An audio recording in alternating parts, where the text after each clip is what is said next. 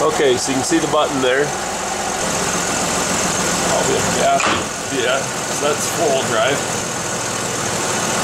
So it's engaged. We've got four-wheel drive. Brian's Mobile 1. So here's the iconic Nitro. We're gonna go underneath. And that is the transfer case that you see here. Really little transfer case, but it does the job. It's not a very heavy unit, not a very heavy duty unit. And that's why it's got such a little actuator. It says model 143KA. And it just has on and off, two-wheel drive and four-wheel drive. So when you turn the key on this, you'll see that there's a SERV four-wheel drive light that comes on. We'll try it again. There it is, it takes the camera man. That's the first light that goes out when it says SERV four-wheel drive. So this is the simple control. It goes from two-wheel drive to four-wheel drive lock. It's pretty basic. You can hear it click underneath. It just spits out a little thing. On the day that it was having problems, seeing the little four-wheel drive light comes on. So the little four-wheel drive light, you can see it's supposed to illuminate.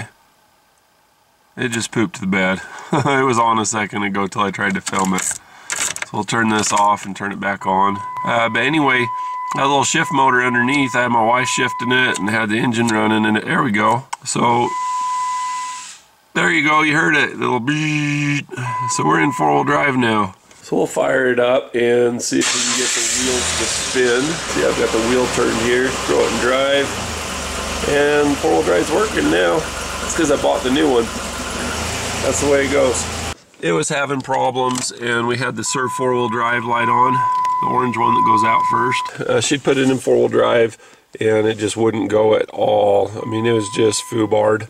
And like I say, we tested it on the left and when I'd switch it to four-wheel drive, just make this plastic popping, grinding noise like nylon gear stripping. We'll zoom in here, I'll turn it back to two-wheel drive. Two-wheel drive's easy. And all it does is it just pushes that little button in and out. It's happy now. It went into four.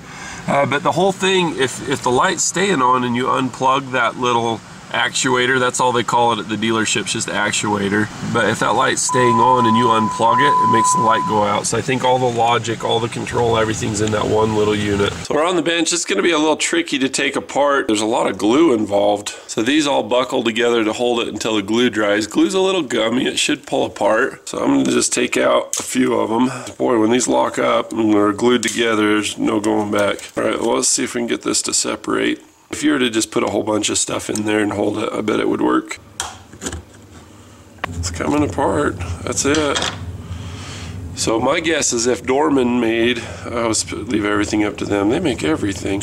So what I'm looking for is something that's cracked or popped in these nylon gears. I heard a plastic popping noise, but it was actually the case of the actuator and it was caused by resistance in the transfer case. The motor's good. This is a relay right here. It's made in the Philippines. Anyway, here's all your input. Here's uh, the sensors. And then on the other side of the board, you should see some circuits or some kind of uh, business getting to the motor. You got all kinds of computer control stuff here. Just real basic. And then uh, the more that you turn this little guy, the more it spits that in or out just a little bit. You can see it's got some gear reduction going on. So there's one, two, three, four, five, six, seven, eight, nine, ten turns, and it's sticking out quite a bit. We go back the other way. One, two, three, four, five, six, seven, eight, nine, ten turns. A little bit more for luck, and it's back about the thickness of my finger. So that's all it does. This gear looks fine. I'd imagine it's a broken gear, these little nylon gears or whatever they're made of. So I'm looking and I'm not seeing anything. I wonder if there's something in the transfer case uh, that causes resistance to make it go bang. So this is uh, the seal that keeps it from leaking. So this is flooded with transmission fluid. It's pretty well lubricated. It's just a screw. So there's a plate or something in the bottom of that that pushes the spring and pushes this up. I can't believe they want so much money for this thing and nobody else has it. There's no aftermarket for it. The only place that had it was the uh, neighboring hub city for the West, Denver specifically. I think a lot higher of this than I did before. And I think given the gears and the situation, I don't think the glue is going to mess up the new one. I think I'm going to try it. This is the new one. I'm just going to pick the glue off and I think I'm just going to put it in and call it good. When I had it out, I don't recall it ever going bang. It was only when it was in it went bang. We should pull the extra seal or whatever off of this. It uh, is just ugly. It is a mess. Look at all that goopy, goopy glue. I think if we can put it in and run it unloaded first, I think it'll be fine loaded. So I just take a little transmission fluid, put it on the O-ring here. And that way you don't get any binding. You can see that this is kind of beveled or sloped to help make things smooth. You'd be hard pressed to mess this up. It's hard to find where the first thread is, but once you've got it, you've got it. Like I say, if you want that SERV four-wheel drive light to turn off, pretty much all you got to do is unplug this thing. And if it doesn't work, do it a couple more times and it seems to clear it. All right, so I pull this off the new one. We're gonna plug the old one. I just threw it together real quick. Uh, key on. Is it in two or four? Two. All right, four two, four, two. Thing works like a champ now. Is the SERV four-wheel drive light on or off? Off. See, why I spend all that money. We'll put it on this, see if the new one goes bang. Like I say, everything was smooth on the transfer case side. All right, uh, what are you in, two or four? Don't change anything, just tell me where it is. Okay, good. That's where it's supposed to be. All right, four. Ooh, it sounded crunchy, huh? Two. Four. Two. Dude, that sounds solid and mean and aggressive. That's fixed. Is the light on or off? The SERV four-wheel drive light is off? Yeah. Cool. There you go, done deal. Let's rotate some tires and put it down. Uh, let's show the uh, let's show it in action. I'm gonna throw a hose on it. Go ahead and put it in drive. All right, put on the brake. Go ahead and switch it to four-wheel drive. Let out the brake. Did you let out the brake? Something snapped. That scared me. Thought I just lost 400 bucks. All right, put on the brake. Switch it to two. Let out the brake. Is it in two? Okay, that's not good because uh, this is still driving. Something went snap. Okay, put it in uh, four. let out the brake or put on the brake put it in two let out the brake it's always in four-wheel drive now right, well let's pull it out and compare and see where the shaft is because maybe the shaft is in the four-wheel drive position we don't know so we are in two-wheel drive position fire it up please uh, put it in drive. Here it go clunk. Let out the brake. So we are in two-wheel drive. All right, hold the brake. I push the button in, uh, let out the brake. Now we're in four-wheel drive. What happens if I just let go? It holds it. All right, push on the brake. Let out the brake. Oh, it didn't return. Brakes. Reverse. Let it, ooh, you hear it go pop, it pop back out.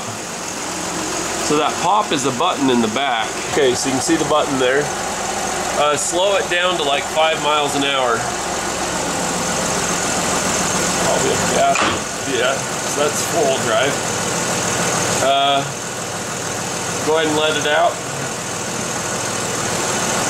so it's engaged. We've got four-wheel drive. Ooh, that's my bad. Go ahead and push the brakes.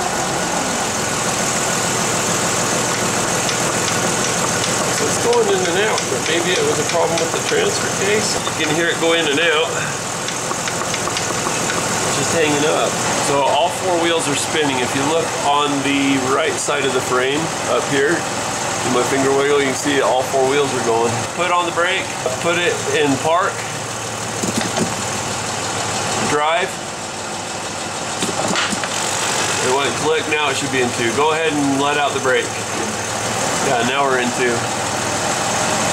You can see over here, again, the tire's just stationary. All right, I'm saying we're fixed, but something's funky in the transfer case. Let's have a round of applause for our lovely assistant. Thank you. Thank you. So I pulled the plug out and it just started bleeding like a little bloody nose or something. If you take your zip tie and just kind of flex it and bend it a little first and then stick it in, that seems to help. You can see about where the fluid is. So the fluid's in good condition. It should be because I changed it last year, year before last. I don't know why it's being sticky and weird. I'm wondering if it's sticking because it's getting stuck on the plate. Anyway, I want to put some extreme green on it. Extreme green is a high friction modifier. It's expensive stuff, but I've taken some, filled a syringe full of it. I don't want it to fall back out because like I say, it is a little spendy, but it is freaking amazing.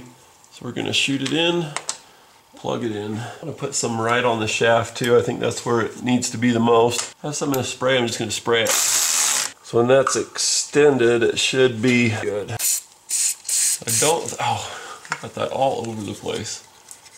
Whatever. I just want to push it. Oh yeah. There's like zero drag on that now.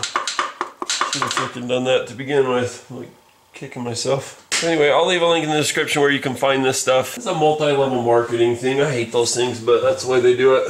I'm not going to press you, but I will tell you, if you get this and you put it on like your screw drive pullers, you know, like a, a hub puller, or a gear puller, put it on the threads of that tool, you'll be converted immediately.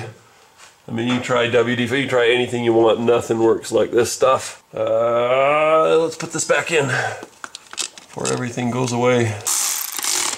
But I bet that right there would have solved my problem better than the new $400 encoder motor. Live and learn. I just didn't know enough about these and that's why I'm making a video so that you guys can learn about it and save money. It's awesome to fix stuff. It's awesome to fix it right the first time. It's awesome to have all the information before you begin. You're welcome. The best way to say thanks is poke subscribe right in the face and then click the little bell. If you want to be notified, you can be notified too. Thanks. Bonus footage at the end.